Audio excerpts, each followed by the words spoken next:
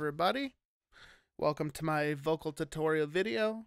Today we're going to be talking about death metal vocals, a little bit of my vocal chain, what I do for my processing, and what I do to get them to sit right in the mix with everything else. For today's session, I had a band come in, a local band called Filth Spewer, and they were nice enough to let me use their session for this video. So I do thank you guys for that there's three vocalists on these tracks and all three of these vocalists came in and they tracked really well. They were very consistent. So it was fairly straight up. We'll just get right into it. Let's hear everything finished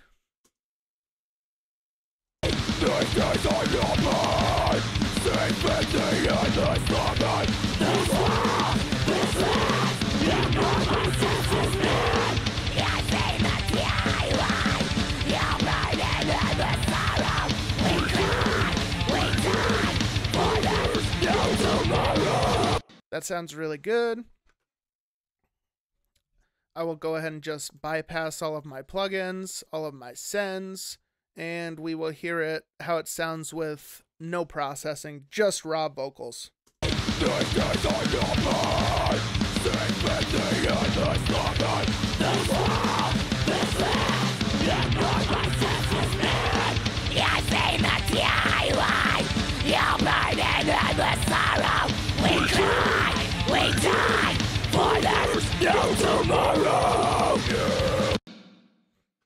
So that still sounds really good. The first thing I do when I'm getting vocals in the in the studio, I will go ahead and just high pass everything that I don't need. Every frequency has a fundamental. Um, there's a great free plugin that you can download. It's called Voxengo Span, and it is an awesome metering plugin. I use this on every track I do. It's fantastic. So I will play what I'm listening to and I will find the fundamental frequency and then I am going to high pass everything below it. This is on your mind, safe in the endless slumber. This world, this land, ignored by senseless men. I say that DIY, you'll burn in endless sorrow. Okay, so we've got a fundamental of 600 hertz and about 3 to 4K on the highs. So, what I'm going to do is go over to my EQ so essentially what I'm doing is I'm going to go a little drastic with the high pass filter and then I'm going to pull it, I'm going to back it off until I get the full dynamics of the vocals back. And that's essentially just going to cut out any of the nastiness that we don't want. This is safe in the endless slumber. This world, this land, ignored by senseless men. I say that DIY, you'll burn in endless sorrow. We cry, we die, for there's no tomorrow. So that sounds really good. You can't hear a difference when I bypass this, and that's what you want you don't want to take out any of the vocals because that's that's what we want. We want to keep the vocals. You just want to take out everything in that frequency that we don't want. I'm not worried about high pass or low passing because upper harmonics don't harm the frequencies. It's the lower harmonics that mud up the whole spectrum. So we want to get rid of that. And uh, take note that the gain staging on this um, is very crucial. You want to make sure that your gain staging for any plugin you use is set correctly so your input and output signals are coming out equal. Uh, otherwise, when you bounce your mix, it is going to sound different than how you mixed it. This is on your mind, safe in the endless slumber. This world, this land. So that looks really good. I'm happy with that. Uh, so I that's pretty much what I did across the board. I cut out anything that I don't need below the fundamental. Then, next thing I did is I put a, a gate. Well, really, it's an expander um, to kind of take out any of the room noise or anything I don't want to hear. It just kind of attenuates everything. This is your mind, safe in the endless slumber. This world, this land, ignored by senseless men. Yeah, I say. And you can't see anything when she's doing a continuous line like that, but you can see when I cut the track off, it's fully attenuating this signal. Um, I put a kind of a soft knee on it to kind of just help it roll off a little more naturally, and uh, that really helps. Uh, just depending on um, how you record things sometimes. So that's really all I did for her vocals there. And then I did a little bit of step compression. This is on your mind, safe in the endless slumber. This world, this land, ignored by senseless men. Say that the highway, you'll burn in endless sorrow. We cry, we die, for there's no tomorrow. And that's even a little heavier on the compression than what I'd like. This is your mind, safe in the endless slumber. This world, this land, ignored by senseless men. Say that the highway, you'll burn in endless sorrow. We cry, we die, for there's no tomorrow. What I'm looking for is I want to compress that signal just slightly, and I'm giving it a fast attack and a very fast release. And what that's going to do is it's going to grab the transients um, as soon as they hit, and it's going to let go of them as soon as they hit. So it's essentially just attacking the peaks of it. Um, and it's really more of a leveling compression than um, anything else. This is your. So that sounds good. Um, next, I send everything to some reverb, and then I send everything to a distortion track. This is on your mind, safe the endless. This world, this land, ignored by senseless. Now, I know it sounds disgusting, but the reason I do distortion tracks is if you look at your span tool and you play this track back with distortion, what it does is it accentuates the upper harmonics of the frequency and it just kind of adds uh, more musical tonal balance to everything. So I parallel process uh, with distortion for some bands um, and it just kind of helps everything sound more full and warm and less papery. And we will hear, or we'll just check out the distortion here in the span. This is on your mind, safe in the endless slumber.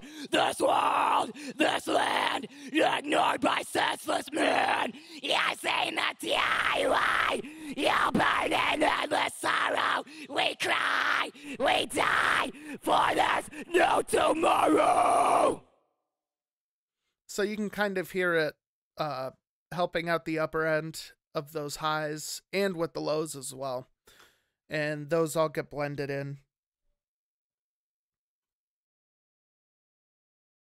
I attacked the layering slightly different. Um, and then I sent these to automated delays uh, for different sections of the song. Um, so those are essentially the same and panned separately too, so that way you get more of a full sound.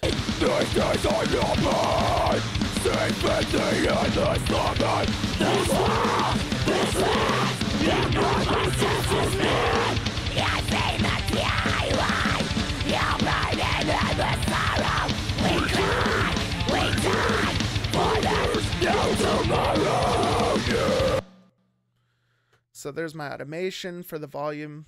Um, now, what I do is I send all of these vocal tracks to a vocal sub. I send my vocal sub to a sub master, and then my sub master goes to my master output. Um, and that just allows me different stages of bus compression, which is something I am a big fan of. I like step compression more than using one compressor and slamming something really hard and making it work too hard. So on my vocal sub,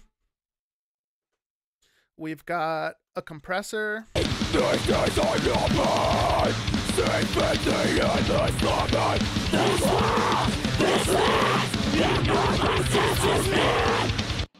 It just kind of glues everything together. Um, kind of a slow attack, slow release, um, somewhat low ratio. Just something to kind of squeeze everything together, sound cohesive.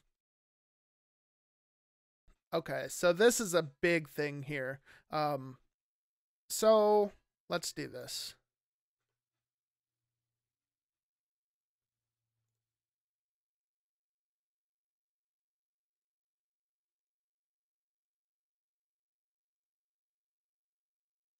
In lament. This world, this ignore my senses, man. So, um, that sounds okay. Um, but I can hear the highs fighting with the guitars, and it just kind of a back and forth battle.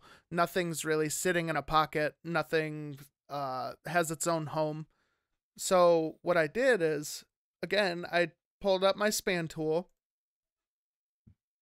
and I found the fundamental of the frequency. So for the vocals, the fundamental of the frequency that I wanted to boost was right around 3K. So I added a 4 dB boost at 3K with, um, you know, uh, not too narrow, not too wide of a width. And then I found the fundamental of my guitars, um, and that was somewhere right around 5K. And I dropped that 4 dB. Now, what I did is I come back over here and I did the exact opposite over here. So I carved out a spot for the vocals at 4 dB at 3K, and then I boosted the spot for the guitars at 5K. So it's just kind of carving out a little spot in your uh, uh, frequency spectrum for each one to live. And these are after all of my processing. So this is the last thing that the EQ sees. So you're not really affecting everything else you've EQ'd previously. It's just um, kind of taking the final result and then notching it for each one to live uh, right next to each other and not affect each other so much. So let's hear how that sounds.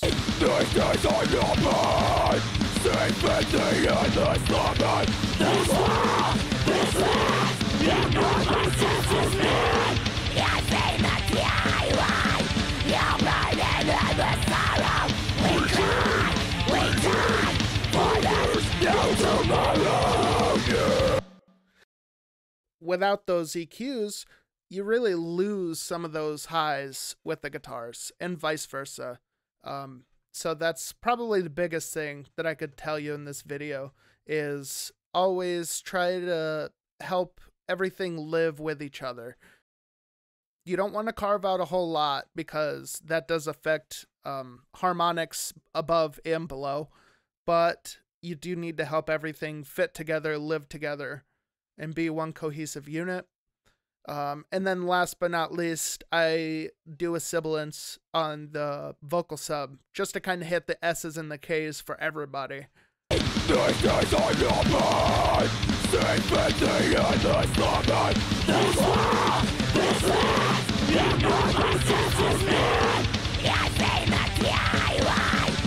And you can see here where it's attenuating those S's. And uh, that kind of helps out quite a bit. So that's it in a nutshell. This session went really well. It was really smooth. So I just, I've had inserts all up and down vocal tracks before. So if that says anything about the talent of those vocalists, um, which I think it does. So, all right. Well, thank you very much for watching and stay tuned for more tutorial videos in the future.